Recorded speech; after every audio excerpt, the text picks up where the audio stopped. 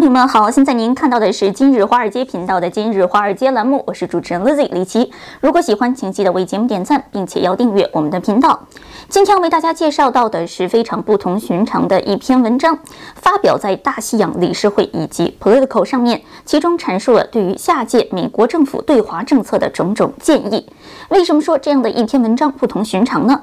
它的作者是匿名人，但是文章的编辑又表示，这一位匿名人的真实身份是前白宫的一位高官，有着深厚的专业知识和中国打交道的经历，因此看上去有一些神秘。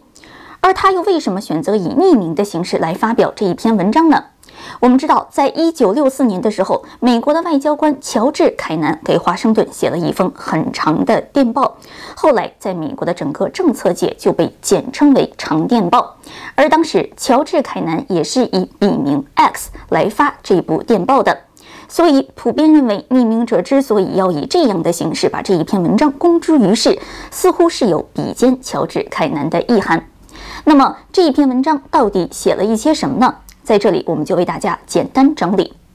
文章最开始介绍到，美国在二十一世纪所面临的最重要的挑战，不是别的，就是在习近平领导下日益专制的中国的崛起。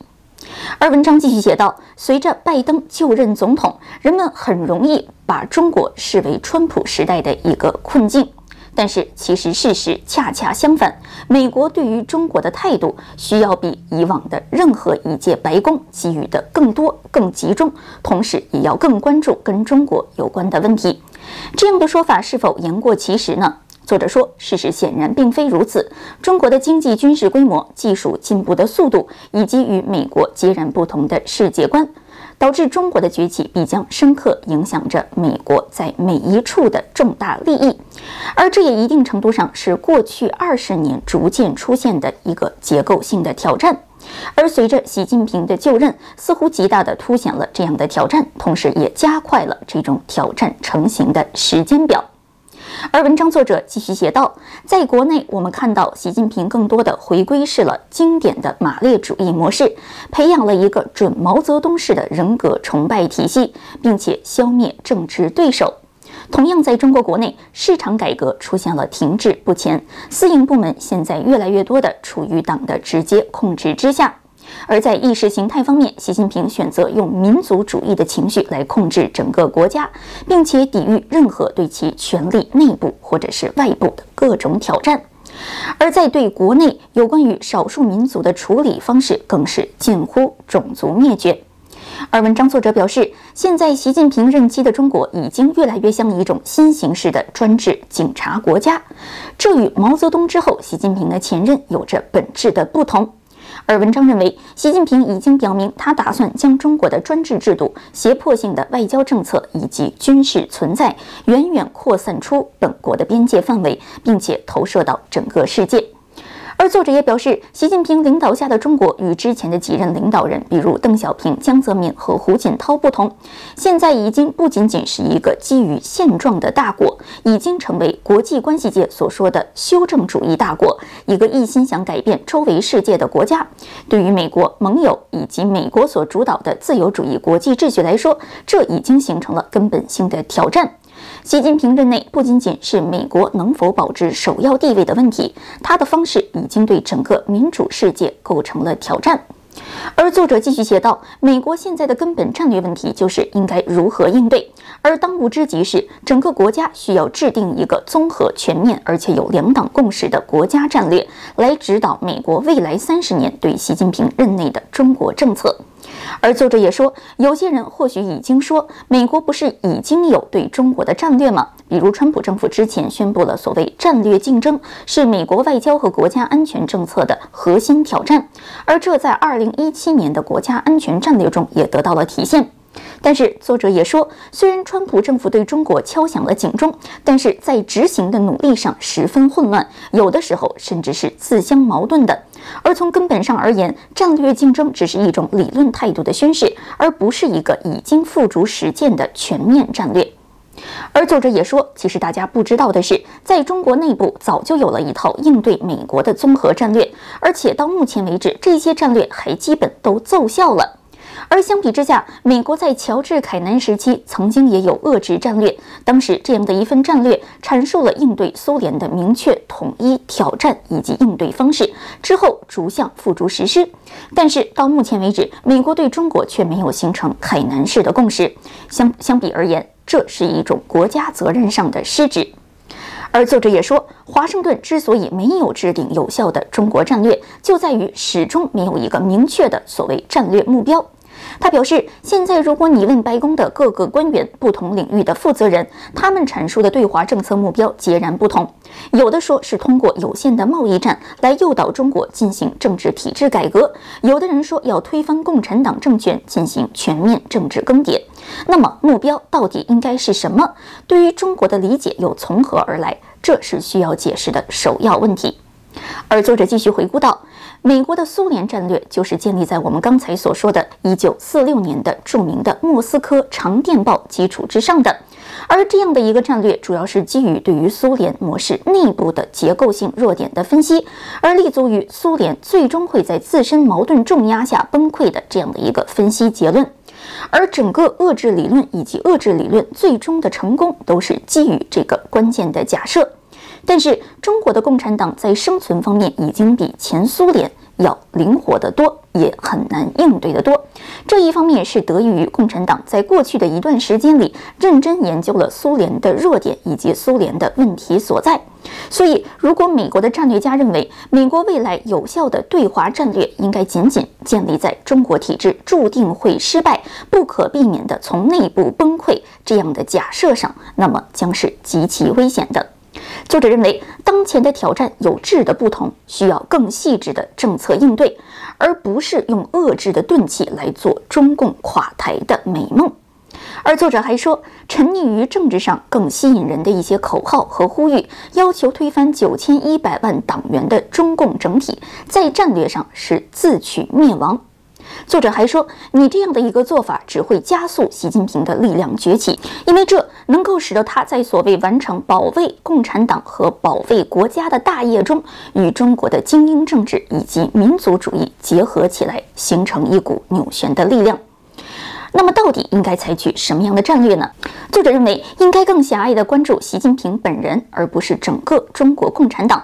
他认为这样的目标更容易实现，同时也有一些具体的政策，而这些政策在这样的过程中，如果得到有效的实施，可以削弱而不是加强习近平的独裁领导。作者也说，凯南分析中的智慧就在于他对苏联内部运作的深刻评价，以及沿着这样的一个复杂现实出发所制定的具体战略。对待中国，现在也需要凯南式的智慧。而现在中国的政治现实到底是什么呢？就是整个中国共产党内部，在习近平的领导力以及他的野心到底朝哪个方向走，这样的方面存在着重大的分歧。就连高级党员本身也对习近平的政策方向感到了极大的困扰，对他无休止的要求绝对忠诚感到愤怒。这些中共精英内部也担心自己的生命和家人未来的生计。似乎有无数的例子已经向我们表明，对习近平已经产生了这样一种深刻而持久的怀疑。其中非常重要的一点就是，尽管习近平大力开展了所谓反腐运动，但是整个国际媒体还是不断揭露出习近平家族以及其政治核心圈成员所敛财巨富的各类丑闻报道。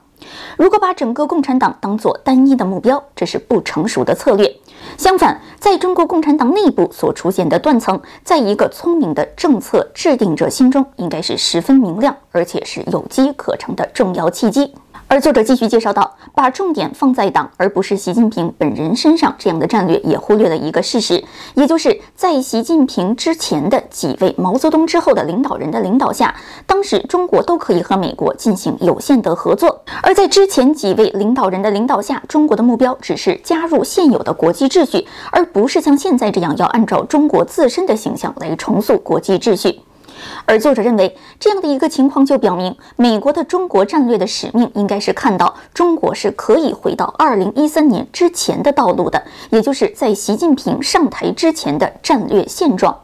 当然，我们也知道，在胡锦涛的第二个任期的时候，当时美国的很多利益已经受到了来自中国的挑战，但是这些挑战即使在当时十分的明显，也是基本可控的，而且。不代表着对国际自由秩序的根本性的违反。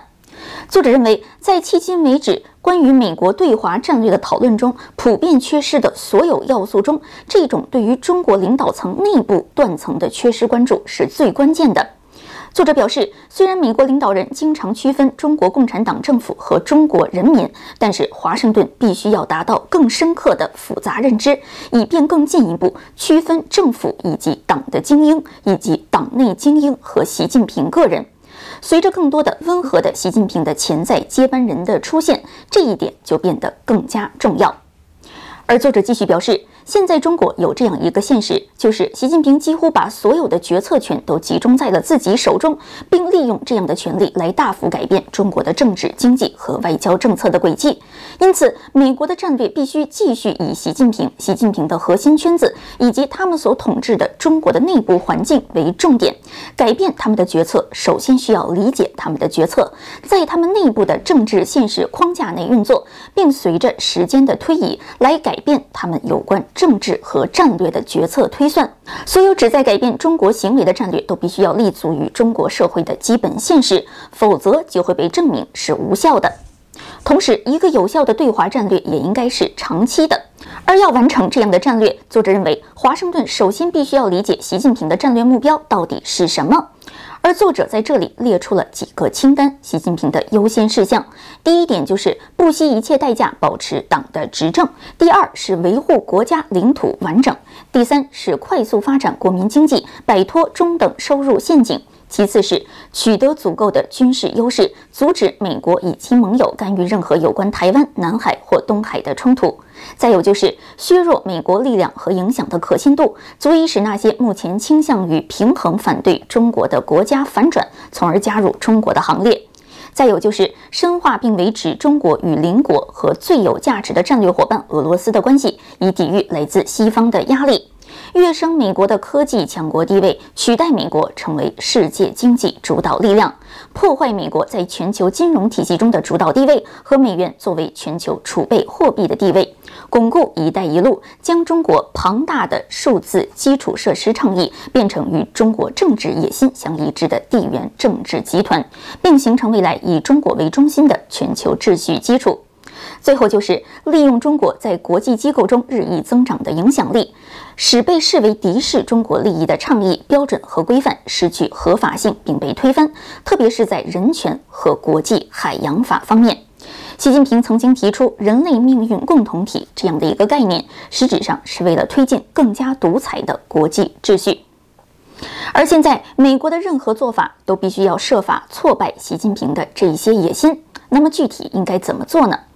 作者认为，首先要明确哪些美国的国家利益必须受到严格保护，这包括比如常规军事威胁，防止战略核平衡出现任何不可逆转的变化，同时防止中国的领土扩张，特别是强行统一台湾的行为，同时也需要巩固和扩大联盟和伙伴关系，保留经济技术优势，保护美元的全球地位。捍卫并改革当前以规则为基础的主要国际秩序，关键是美国的意识形态基础，也就是民主价值的核心。同时，也需要防止灾难性的气候变化。而文章作者认为，有些人可能会质疑：我们怎么能够保证这样广泛的国家目标都能实现呢？牢记一个压倒一切的政治目标，或许就是答案。而作者认为，美国如果要实现这些目的，同时也要保护自己的核心优势，最重要的方式就是必须改变中国的目标和行为。华盛顿必须要牢记以下几个原则。首先，就是一个成功的美国战略必须建立在美国优势的基础上。这也意味着美国力量的四大核心支柱：国家军事力量、美元作为全球储备货币和国际金融体系支柱地位、全球技术领导力，还有个人自由、公平、法治的价值观，必须得到进一步的强化和坚持。而拜登政府在处理对华问题时，必须要牢记的是：中国领导人只相信强力，并且蔑视弱势者。他们鄙视摇摆不定的弱势领导人，他们从不相信有战略真空。而作者也认为，白宫现在必须明白，中国目前仍然对于美国的军事冲突持高度焦虑心态。但是如果中美之间爆发军事冲突，而未来中国又没有能够取得胜利，那么鉴于党内多年来所宣传的有关于中国必然崛起的宣传攻势，习近平很有可能会垮台，而政权的整体合法性也会崩溃。所以中国现在仍然在观望。与此同时，美国必须要关注到的是国内的态势，尤其是国内经济体制上的弱点。作者指出，中国的崛起成功是以三十五年来所执行的缜密战略为前提的，要识别并且解决中国在制造业、贸易、金融、人力资本以及技术等方面的结构性弱点。而对于习近平来说，经济才是根本性的问题。除了未来在任何军事行动中失败之外，可能导致习近平垮台的最大因素就是经济不景气。这将意味着中国民众的大规模失业和生活水平的下降。而这也将伤害中国共产党和中国人民之间的所谓根本性默契契约。而基于这样的一个原则，一个可操作的战略到底又应该是什么呢？这里作者提出了几点：首先就是重建美国长期国力的基础，刚才我们提到的经济、军事、技术、人力资本；还有就是必须要有一组可执行的政策红线，在任何情况下都应该阻止中国跨越红线。第三就是就重大国家安全利益问题达成一致，如果这些利益出现了损害，就必须要成为行动的参考准则。还有就是要确定一些重要而不关键的领域，在这些领域中不需要划定红线，但是在这些领域中，美国应该部署对中国全部的战略竞争力量。另外，就是要界定一些仍然可以与中国开展战略合作、符合美国利益的领域，比如气候破坏、全球流行病，还有核安全这样的问题。再有就是发动一场全面、全球性的意识形态斗争，捍卫政治、经济、民主自由，反对中国的专制主义国家资本主义模式。而同时，作者表示，美国的主要欧亚盟友必须要就上述的条约达成细化共识，使得他们可以共同部署并捍卫对华政策的更多要点。而作者在文章的最后表示，现在思想仍然在国际政治中非常的重要。要战胜像中国这样的长期对手，不仅仅是一个力量平衡的问题，同时也是一个民族如何看待自己、一个社会如何正视自身弱点的问题。但是，作者也明确指出，不要认为实施这样的战略就可以改变整个共产党的统治形态。他表示，中国人有可能会对党的百年命题以及基本阐述产生自己的质疑。中国古老的文明是否永远要走向专制的未来呢？